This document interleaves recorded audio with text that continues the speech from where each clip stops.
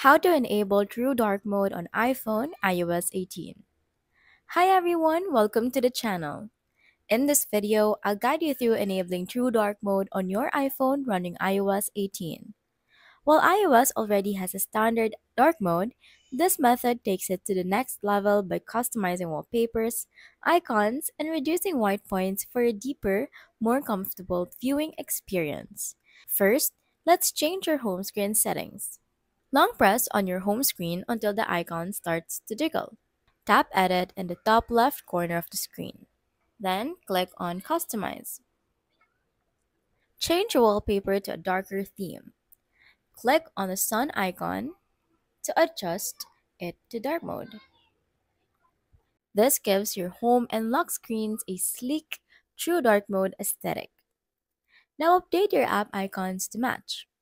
Switch their colors to dark mode style for a cohesive and stylish look. You can either use built-in options or download icon packs that support dark themes, but in iOS 18, you can simply click it right here.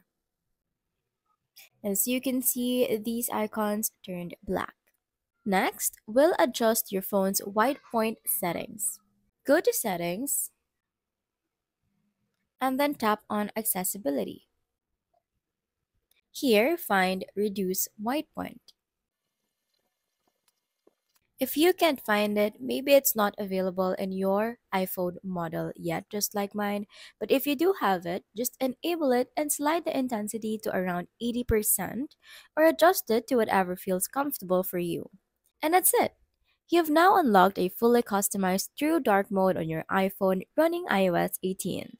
If this guide helped you out, make sure to like, comment, and subscribe for more iPhone tips and tricks. Thanks for watching and I'll see you in the next video.